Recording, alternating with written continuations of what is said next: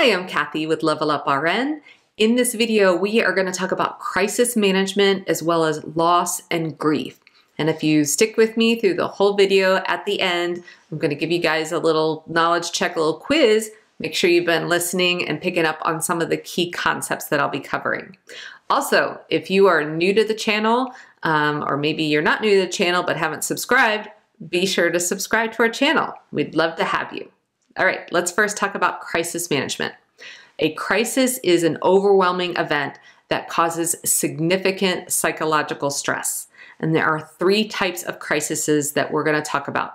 The first is a maturational crisis. So this is a life-changing event that occurs as a normal part of the lifespan, um, but causes significant stress. So examples of this could be marriage, having a baby, retirement, sending your baby to college, which is something I'm getting ready to do. These are all normal life events, but they can cause stress. And then we have a situational crisis. So this is an unexpected life event. So this could include loss of a job or the sudden death of a loved one.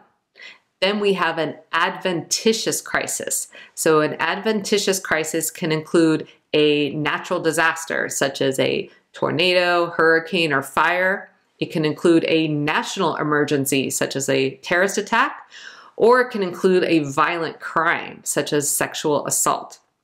So in terms of nursing care, your priority always is to provide for patient safety. And then beyond that, you want to assist the patient with anxiety reduction you want to assess the patient's um, support system, right? Their family, their friends, and also evaluate their coping skills and find out what coping mechanisms they have used in the past successfully so that perhaps they can use those same coping mechanisms with the current crisis.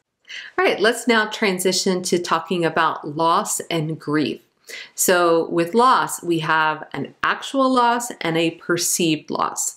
With an actual loss, this is a loss that is recognized by others, such as loss of a loved one.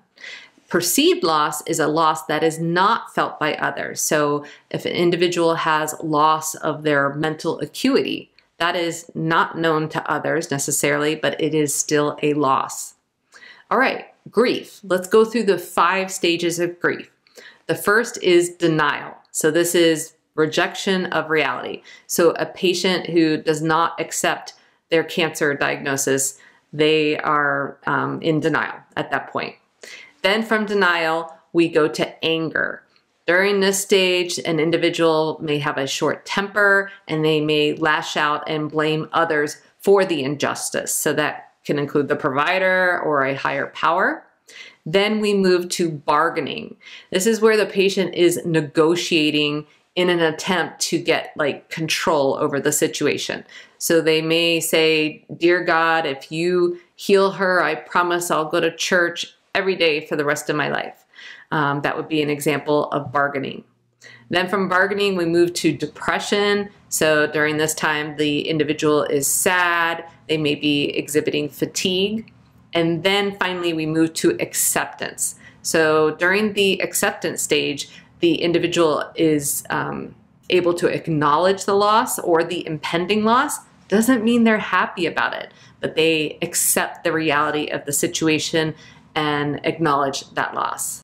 All right, now that we've reviewed the five stages of grief, let's talk about some different types of grief. So one type of grief is complicated grief, which can also be referred to as prolonged grief disorder or pathological grief. This is where an individual has intense, prolonged sorrow for more than a year that really interferes with their daily functioning.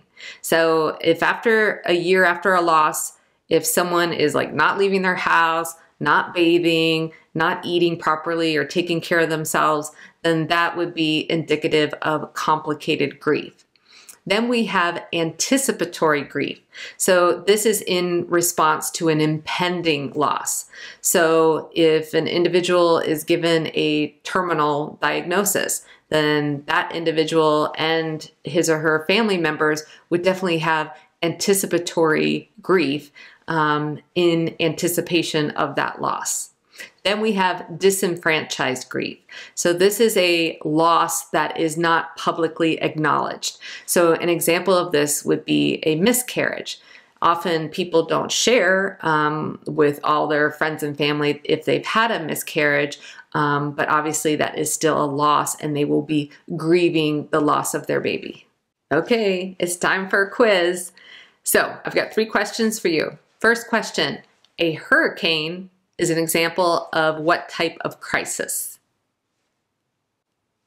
If you said adventitious crisis, you are right. Next question, name the five stages of grief. All right, here they are.